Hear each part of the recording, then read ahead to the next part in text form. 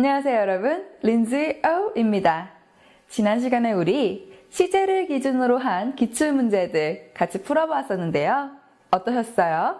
복습 잘 하고 계시죠?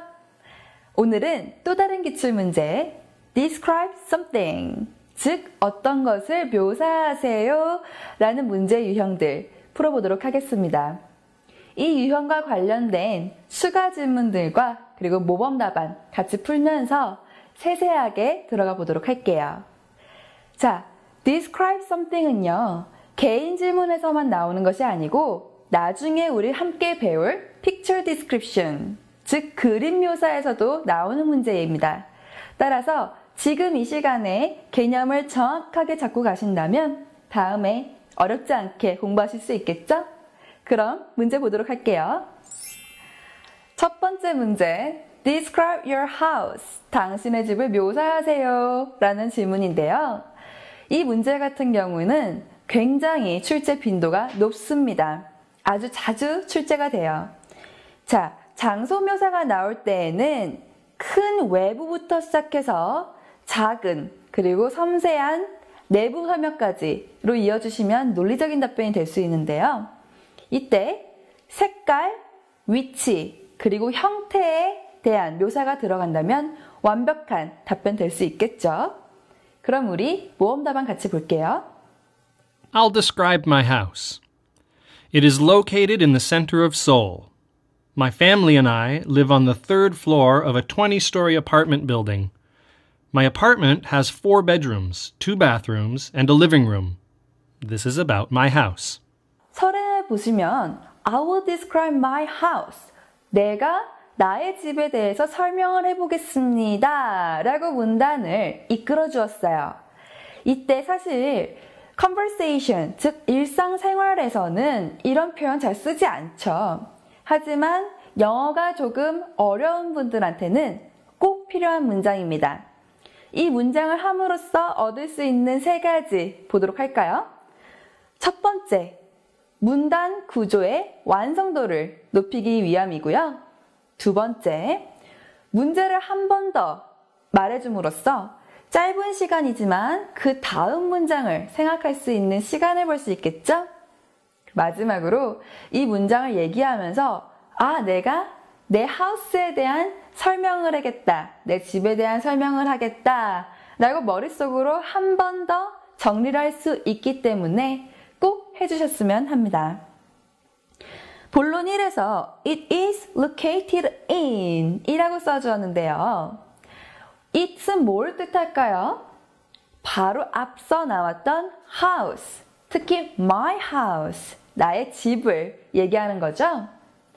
It is located in. 자, 여기 너무 중요한 표현이 나왔어요. is located in 이라는 표현인데요. 왜 수동태로 썼을까요? 그렇죠. 나의 집이 스스로 장소를, 위치를 선정해서 세워진 게 아니고 누군가가 집을 세웠죠? 그 장소에. 그렇기 때문에 수동태적으로 누군가에 의해서 세워져 졌다라는 표현 또는 누군가에 대해서 의해서 위치해져 졌다라는 표현으로 it is located in 이라고 썼습니다. 비동사 더하기 과거분사 알고 계시죠? 다음 표현에서 in the center of Seoul 이라고 했어요. 여러분, 그냥 서울이 아니라 서울의 중심부라고 디테일하게 설명해 준 부분 너무 좋죠? 그럼 다음 문장 볼게요. live on the third floor. 자, 세 번째 층에 살고 있다 라는 표현인데요. live 라는 표현 써준 것도 너무 좋았고, 그 다음에 보실 것은 on the third floor 이었어요. 세 번째 층에 살고 있다는 표현인데, 내가 그냥 three floor이 아니고 왜 third floor을 썼을까요? 그렇죠. 세 번째 라는 것을 표현해 주기 위해서 서술을 쓴 것입니다. 따라서 서수 앞에는 항상 같이 오는 것이 있죠? 바로 the, the 가 같이 오겠죠. I live on the third floor. I and my family live on the third floor. 이 문장 꼭 외워주시고요. 그 다음으로 오는 표현은 마찬가지로 조금 더 디테일함을 살리기 위해서인데요. of a 20-story apartment building 이라고 했어요. 20층짜리의 아파트에서 삽니다. 라고 해주었네요. 여기 너무 재밌는 표현 있죠? story. 우리가 알고 있던 이야기와는 다르게 층이라는 뜻으로 쓰였네요. 이거 절대 잊지 마시고 이 전체 문장 구조를 잘 외웠다가 답변해 주시길 바랍니다. 다음, body 2.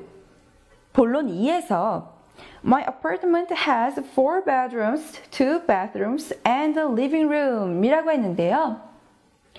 나의 아파트가 가지고 있다 라는 표현으로 써주었어요.